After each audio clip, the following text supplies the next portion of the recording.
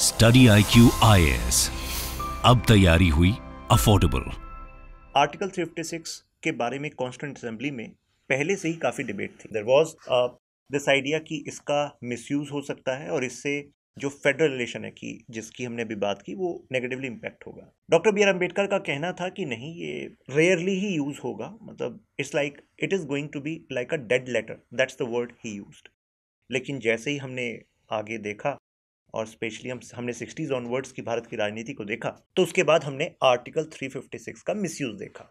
तो सर आपने भी उस समय सर्व किया है जब आर्टिकल 356 लागू हो रहा था। तो आपका इस पर क्या व्यू है और किस तरीके से आपने कुछ एग्ज़ाम्पल देंगे रियल एग्ज़ाम्पल की किस तरीके से गवर्नेंस को इम्पेक्ट करता है ये?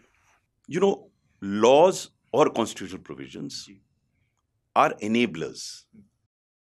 Now if there is a political misuse of those enabling provisions then obviously uh, that was not the purpose of such laws. So I think 356 was required hmm. because if there is such a situation as has been outlined in 356, uh, there would be need for a president's rule. But fortunately in India, as we are an evolving democracy, I think we've matured as far as use of 356 is concerned. If you look at the 60s and the 70s and the 80s, the ease with which 356 was used is no more done now. Very rarely do you find a situation where people go for that. Hmm. And also, the future leaders also recognize the fact that it should not be used just like that as it was done earlier. And hence, there were constitutional amendments to this effect on how Article 356 has to be used.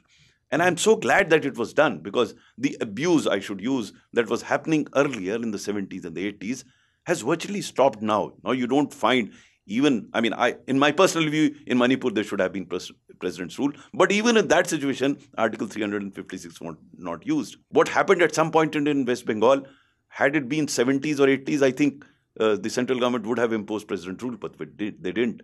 So I think there is maturity uh, in our political leaders, in this at least context, where Article 356 is not being misused as it was used earlier.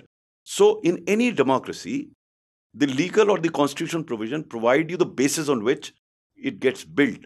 But as politics matures, the misuse tends to get cut down. And Article 356, to my mind, is a clear example where we can see maturity taking place.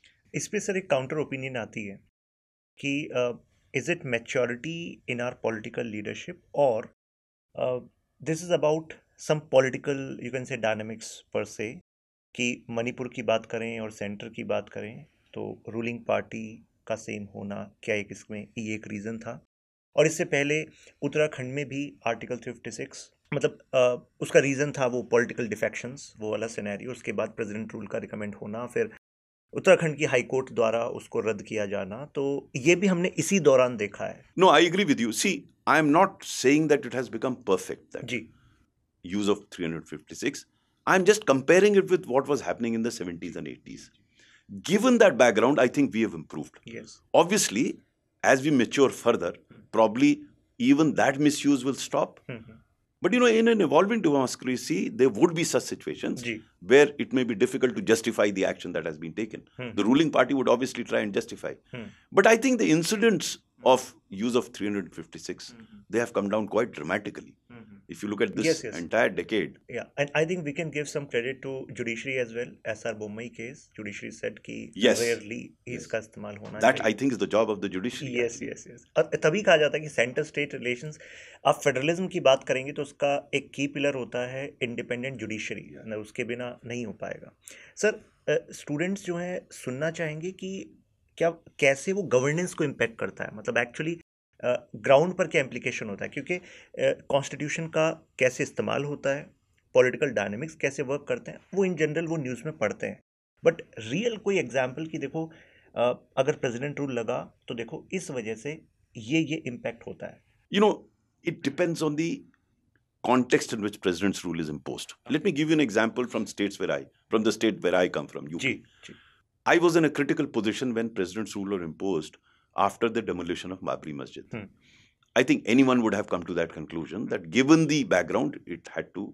Okay. So, to provide some stability in the social context, in the law and context, it was necessary for that. Hmm. Now, president's rule for tackling an emergent situation Hmm. may be required, but president's rule cannot continue for a very long time because ultimately, in a democracy, it's the people who matter, Hmm. and president's rule is not of the people. yes What it does is it gives time to the administration to restore normalcy before elections can happen. And it happened, and then normalcy was restored. In UP, it happened. Hmm. Look at another example where there was an attempt to impose president's rule uh, against a democratically elected government without any major event happening. This happened when Mr. Kalyan Singh became the chief minister for the second time. The governor of the state sent a recommendation to central government to dismiss this state government. Hmm. And it was one of the rare cases where the president of India did not accept the recommendation of the cabinet. Hmm. Cabinet also recommended, okay and they, he didn't. And ultimately, uh, president's rule was not imposed. you are saying ki union uh, council of ministers said you should accept For president's rule, the recommendation has to come from yes cabinet. yes yes union cabinet And if you recall, uh, after 1977, the constitution was amended Mhm. that the president has the authority to send back the proposal for rethinking. yeah Earlier, it was not so. He was, earlier, he was bound. He can send it once. Once. He sent it back. okay And thereafter, the political situation was such that the cabinet did not recommend it again. again It could have. yes yes So it, you know, that was a well worth an amendment because it gives time for people and the decision makers to reflect. Hmm. So as I say, you know, our constitution has also evolved, and this is a very good provision that has been there. That though president is bound by the advice of the cabinet, Mhm. at least in such cases, he can send it back for reconsideration, which he did, Mhm. and then the cabinet did not move again. So president rule was not imposed. Now, what d- does this do? Hmm. If such things happen very frequently, then the administration is in a fix yes because the overall guidance is given by the political or people at the top. ji And that guidance goes missing as to what is the direction to. I mean, civil service acts upon that those decisions or that guidance.